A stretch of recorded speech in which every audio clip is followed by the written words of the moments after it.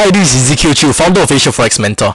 So in this video, I'll be revealing what I do on a weekly basis and I'll be sharing my analysis for this week, which is the 29th of Feb 2016. So you can refer to this video throughout the week to spot for trade setups. The analysis in this video will be my trading plan for the week. So in my weekly analysis videos, I'll be sharing pairs that have possible setup for the week or pairs that are worth taking note okay so, so here's the first pair. So uh dxa basically uh it's the uh the dollar index right?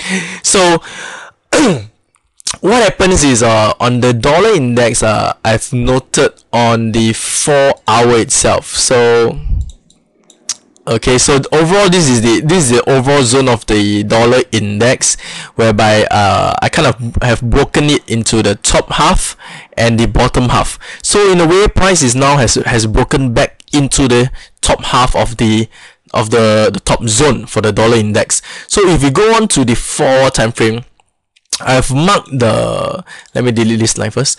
I've marked the white line the white line which is my uh, 365 though I have marked my white line as the crucial line for a a a, a signal of it breaking out. Right. So uh, from what we can see from the brief history that we have over here, the uh, the 365 price has been respecting the white line really well until it broke through, and then when it came back up, it tested, respected again, and this time around, if eventually it broke through.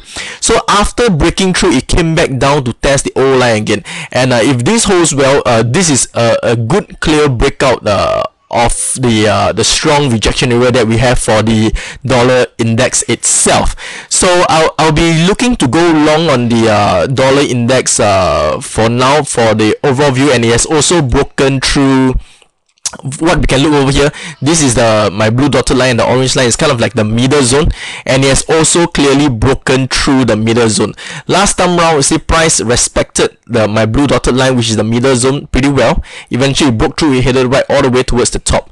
So this time round price is has now broken through the middle zone as well.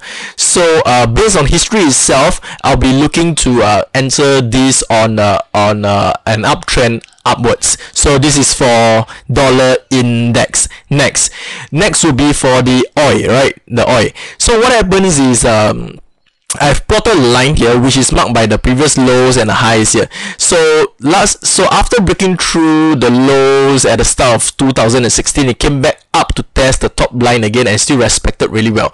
So this time around the price went up again and, and it formed a, a pin bar on uh, last Friday itself.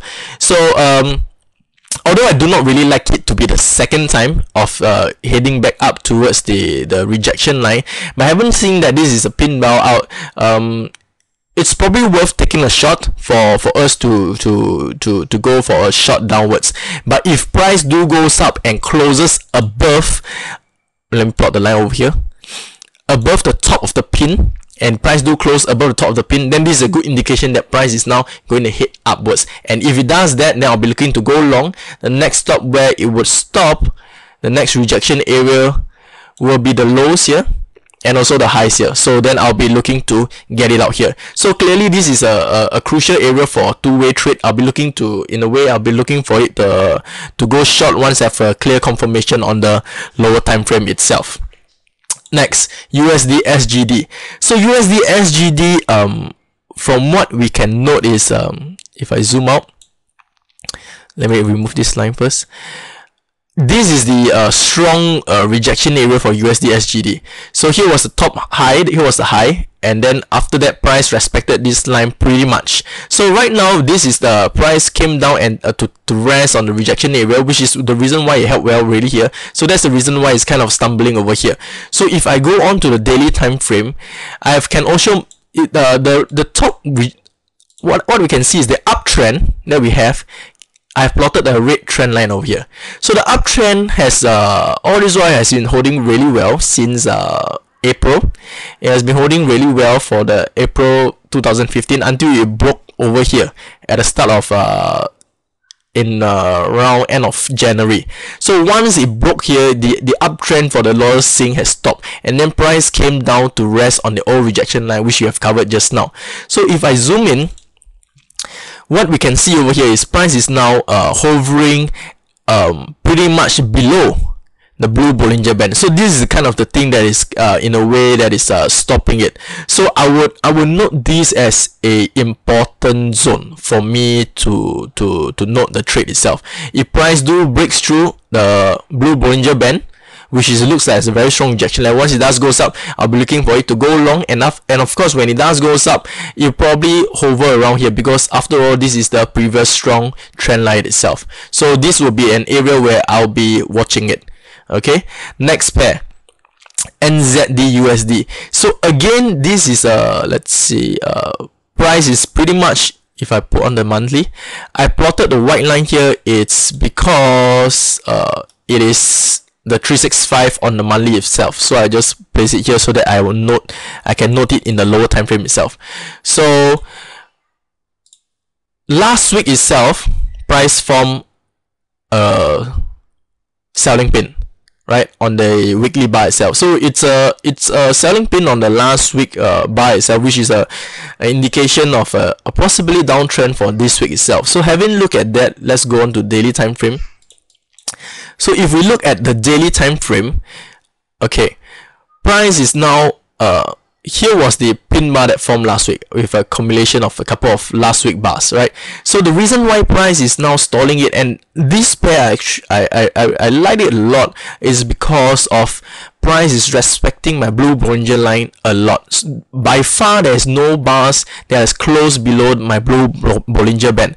Over here over here and over here as well. So we, what we can clearly see is price is respecting the Bollinger Band respects eventually it broke through. Once it does break through it hits all the way to the top. And when it came back down it respected and then it broke through again. So all this while price is below the zone. After that it came back up and they respected the zone again. So this zone is a crucial strong rejection area which is which is what we always like to see in the uh, when we are trading. We like to we like to find areas where whereby there are strong rejection areas. And if price breaks through a strong rejection area then then we can say that with uh, with a high probability that is going to go uh, the other way the, the the the area that he has broken through. Because all this while price keeps respecting the area that he has over here and uh, keeps gets gets rejected by it uh, for uh, a, a pretty much a long time since uh, January.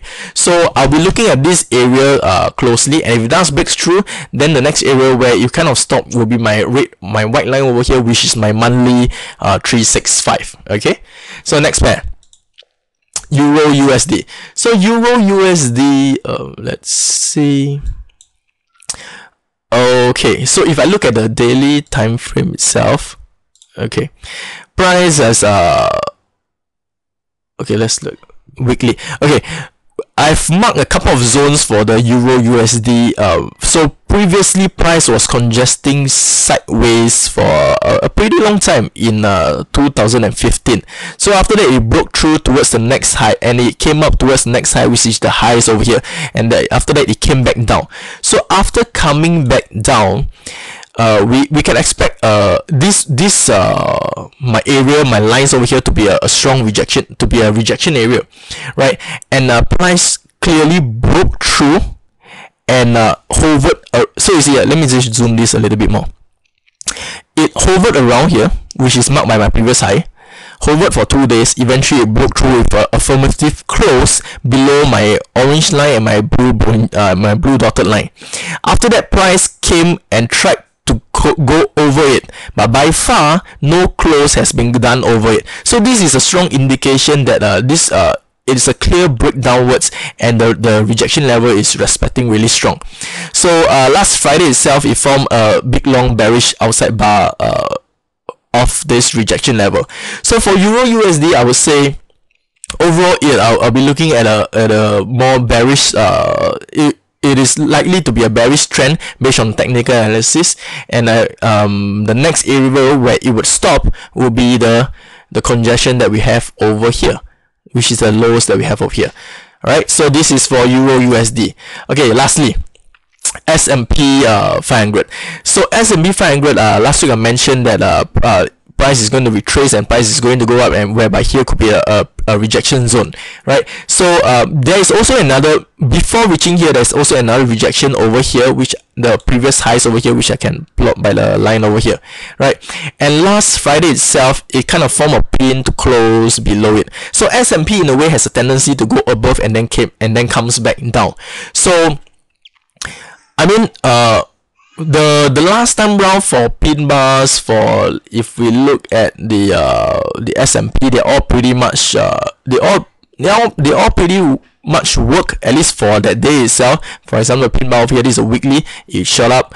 Selling pin it shot down. Buying pin it shot up right? So and what we can also note is that uh which I I I forgot to mention last week is that there is my weekly blue Bollinger Band. And that is also a very strong area of rejection because the last time round price has been respecting it very well with no close below it right? So that's the reason why price stopped here as well. So uh, here is also a strong rejection on the weekly time frame.